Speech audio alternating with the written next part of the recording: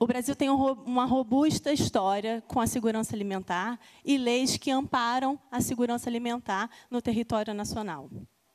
Nosso país ele promove compromissos nacionais e internacionais para garantir esse direito humano, mas é, e a gente tem hoje a Lei Lausanne, que garante que no território brasileiro todos os indivíduos estejam livres da fome e que tenham acesso de forma plena a alimentos promotores de saúde. Apesar da gente ser referência mundial em políticas públicas de segurança alimentar, muitas pessoas, principalmente de território de favela, ainda estão em situação de fome. E, diante disso, como as políticas públicas que hoje garantem acesso a alimentos né, e cestas básicas percorrem caminhos de entrega desses alimentos até a saída da fome no Brasil.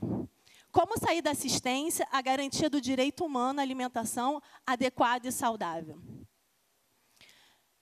Esses, essas políticas públicas de segurança alimentar, elas criaram, na verdade, soluções e diminuíram os índices de segurança alimentar no, no Brasil. Não, é inegável que a gente sai do mapa da fome, mas a gente ainda tem, historicamente, as mesmas pessoas nessa situação, principalmente em áreas urbanas. E elas poucos vão privilegiar instituições locais, instituições de base comunitárias que, historicamente, estão promovendo soluções de segurança alimentar e que, hoje, está garantindo refeições para populações que não têm um prato de comida para se alimentar. A Rede da Maré é uma instituição da sociedade civil que atua na Maré há mais de 20 anos. Ela é uma instituição de base comunitária, feita, produzida, pensada por pessoas do território da Maré, como eu, e que promove ações, projetos e pesquisas para incidir e melhorar na qualidade de vida dos moradores da Maré, a partir da conquista de direitos e de incidência política. A Maré é o maior conjunto de favelas do Rio de Janeiro. A gente é o nono maior bairro da cidade do Rio de Janeiro. Se a gente é, esses números populacionais fazem da Maré, se a gente fosse uma cidade, uma cidade de médio porte brasileiro. Ou seja, a gente é maior do que 96% dos municípios brasileiros. Mas isso não significa que a gente tem acesso a direitos e políticas públicas que a maior parte dos municípios deveriam ter acesso e serviços. A Maré ela é composta por 15 favelas. A gente está num, em 4 quilômetros quadrados e 51% da sua população é composta de mulheres. 45% dos domicílios da Maré são chefiados por mulheres e metade das mulheres com 15 anos ou mais é responsável pelos domicílios da Maré. Mas falar de, segura, de segurança alimentar no território da Maré, em territórios de favela, em territórios de, perif de periferia, é falar também de segurança pública. Ontem foi a 42ª operação policial que aconteceu na Maré só em 2024. Isso significa que o Estado está presente no território da Maré e as políticas públicas de segurança pública que a gente acessa, elas produzem impactos é, não só para o dia da operação policial, mas ela vai além desses dias. Só ontem, quatro pessoas morreram vítimas de violência do Estado. Além disso, esses impactos vão para além desse, da vida. Né? Ela está no cotidiano dos moradores, na rotina, no nosso dia a dia. Desses 42 dias de operação policiais, 28 dias a gente teve de postos de saúde fechados no território da Maré. Então, o direito à saúde também não é garantido no território quando acontecem as operações policiais. Se a gente não tem direito à saúde, a gente não tem direito à segurança alimentar. Então, exames foram cancelados, consultas não foram aconteceram, então, consequentemente, o morador continua tendo impacto na vida deles da operação policial que aconteceu ontem. Além disso, desses 42 dias de operação policial, 35 dias promoveram o fechamento das escolas na Maré. o que impacta 8 mil crianças que não tiveram direito à educação por causa das operações policiais. Isso significa que as políticas públicas de segurança alimentar não são contempladas nesse território. Porque se a gente tem 35 dias de escolas fechadas, a gente tem 35 dias de crianças sem acesso à merenda.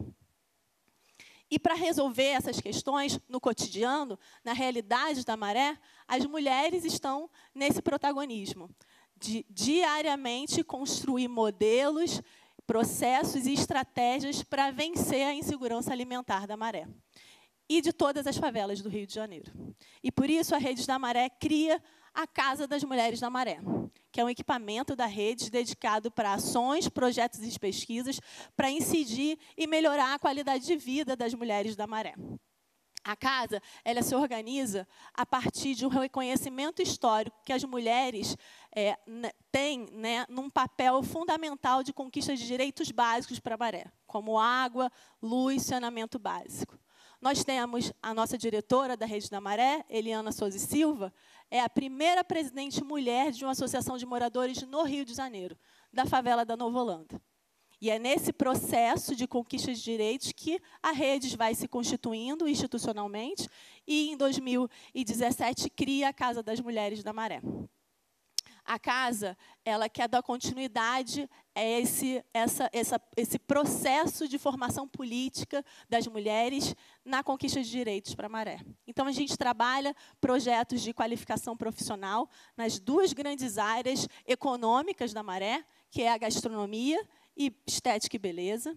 A gente tem ações né, de acolhimento psicossócio-jurídico para as mulheres do território, como forma de enfrentamento às violências contra as mulheres, projetos de direitos sexuais e reprodutivos, para a gente incidir na trajetória dessas mulheres e na saúde delas, e projetos de arte e cultura com protagonismo de mulheres de favela, de mulheres da maré. As nossas formações, elas acontecem de forma é, complementar, né? É um acompanhamento integral da vida dessas mulheres. E é nesse sentido que, além dessas formações, a casa oferece curso de alfabetização para mulheres, grupos terapêuticos e dá visibilidade e fortalece as estratégias das mulheres de favela para romper os ciclos de violência contra a mulher. Um dos projetos que acontecem na casa é o projeto Maré de Sabores que é o projeto de qualificação profissional em gastronomia que a gente tem na casa. A casa é um espaço seguro para as mulheres, seguro para produção de sonhos, para produção de desejos e como a gente cria esse espaço para a realização desses desejos produzidos a partir das suas questões subjetivas elaboradas junto com todas essas essas ações né, promovidas pela casa. O Maré de Sabores promove formações em gastronomia, uma formação técnica em gastronomia mareense. A gente quer falar da nossa cultura, a gente quer falar da nossa cultura alimentar a partir de técnicas gastronômicas. Junto com a formação técnica, a gente tem uma formação de gênero e sociedade, que ela é fundamental para a gente pensar nesse ser político das mulheres, pensar os desafios né, de ser uma mulher no mercado de trabalho, de ser uma mulher de favela, de ser uma mulher racializada, como, de forma coletiva, a gente enfrenta junto essas questões que atravessam a vida das mulheres de favela. Junto com isso, a gente tem um acompanhamento psicossócio-jurídico e formações né, de orientações profissionais, exatamente para criar estratégias de como essas mulheres possam produzir autonomia financeira e romper os ciclos de violência contra a mulher. O Maré de Sabores ele nasce em 2010, como um projeto dentro das ações de educação da rede, dentro de um colégio público, entendendo que a alimentação é fundamental para o fortalecimento é, do aprendizado das crianças, e ele vai se organizando a partir desse desejo das mulheres por qualificação profissional e autonomia financeira. E desse ímpeto produzido a partir das formações do Maré de Sabores, surge o Buffet Maré de Sabores, que é um negócio de impacto social formado pelas mulheres qualificadas, pelas formações em gastronomia da Casa das Mulheres da Maré, que circula a cidade a partir de um serviço de catering, de um catering de comida mareense, né, uma forma das pessoas experimentarem a maré para além desse território. é, e provarem qual é a potência das mulheres de favela na produção empreendedora, né, nas formas de pensar o empreendedorismo mais democrático. Outra ação que compõe, na verdade, o Maré de Sabores é a produção de refeições para a população em situação de rua. Hoje, o Maré de Sabores é uma cozinha solidária. Faz parte de uma política pública de segurança alimentar nacional. Essa ação é um processo que a gente foi desenvolvendo ao longo dos anos e entendendo que segurança alimentar é um processo que a gente já executa há 14 anos na instituição. E que a partir da pandemia isso ficou muito latente, porque uma solução que a gente produziu, né, que foi a campanha Maré de Não ao Coronavírus, distribuiu para 21 mil famílias cestas básicas no território. E a partir desses dados, a gente começa a entender que, para pensar a saída da insegurança alimentar das pessoas que estão em situação de insegurança alimentar grave da maré, a gente tem que ir para além desse processo de entrega de alimentos e cestas básicas.